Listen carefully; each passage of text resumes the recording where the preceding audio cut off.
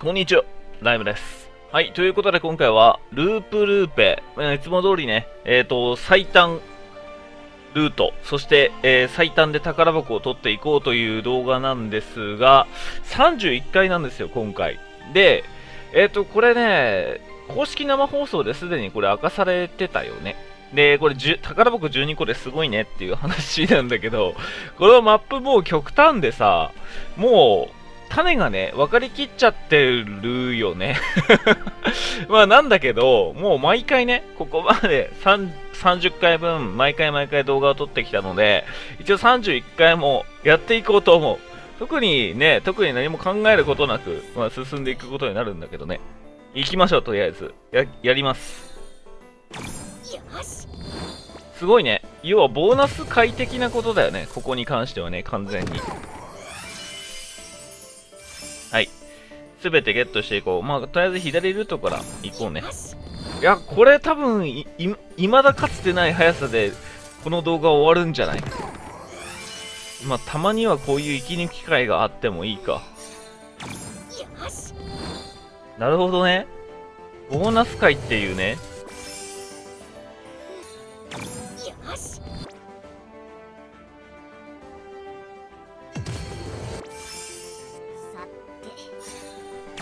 で、ここはもうひたすらもう右上ですね。ひたすらあとは右上に進んでって感じ。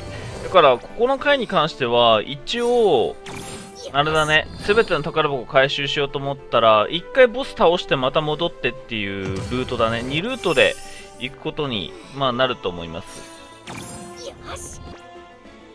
すごい本当に何もない。はい。えーと、これまあ、ボスに来たんで、とりあえず一旦ボス倒してっていう感じだね。ボスは倒します。倒して、また、えー最初に戻ってっていう形の方がいいでしょう。ここの場合には。で、敵の推奨 EP ね、ここももう優しいね、10万っていうね。普通の雑魚敵より弱いじゃんっていうところがあったりするんで、めっちゃ弱いね、これね。しょうがないあれ？あー、これバフが、まあなんシオンでもいいのか、別に。な活躍見ててくださいこれで非属性の攻撃5%アップ。戦闘開始っすまあ、ワンタンキルぐらいじゃない？推奨 EP10 万っていうと多分。普通にイベントの中級ぐらいだよね、10万って多分。一発 ワンパンだった まあそうだよね。ほんとボーナスだね、ここね。すごいね。こういう回があるんだ。はい。しかもちゃんとドロップしてくれるのすごいね。ちゃんとドロップするわ。なんか本当に、これぐらいだとさ、しょぼめのやつなのかなと思いきや。はい、レベル10だね。レベル10の銅像が解放と。はい。えー、まあ次は31回になるんだけど、とりあえず、あの、右側のルートのね、え宝箱も取っていくんで、当然、当然ながら。はい。ちょっと一旦戻りましょう。うわー、32回すごい。32回も宝箱5個あるんだね。はい。また一旦ここに戻ります。提案します提案します。はい。えー、ここまっすぐ行きましょう。よし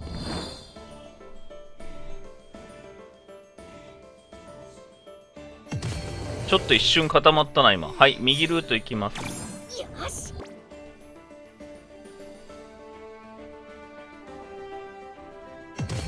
ちょっと重いな、ループループ、やっぱり。はい、右、右ルート。よしうまここの回激うま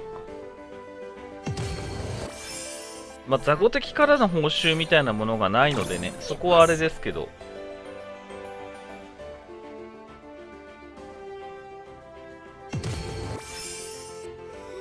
はい、左。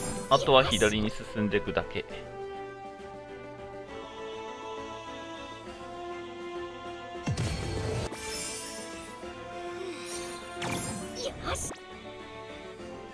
すごい。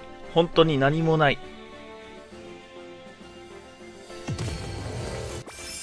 はい。魔晶石30個で、で、最後またボスと。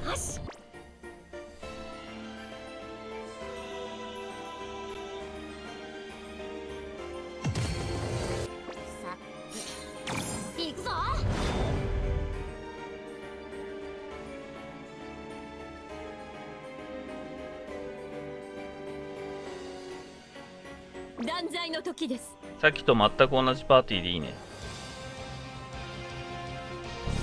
強大な魔力の接近を感知しました気を抜かなお役に立てれば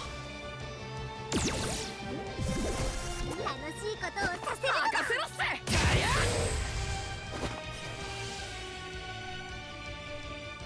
はい。カン。まあ一応最後まとめするよ。茶番だけどね。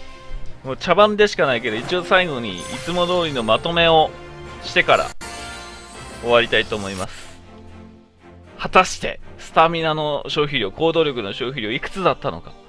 はい、見ていきます。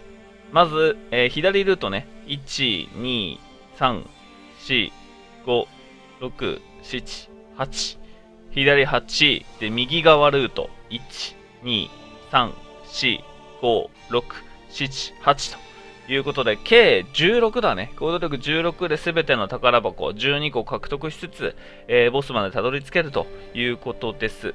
まあこれだったらボスね、えー周回も相当楽なんで、えーワンチャンここ周回、まあ本当に雑魚的で無駄な時間過ごしたくないなって人はここの周回だけでもいいんじゃないかなと思う。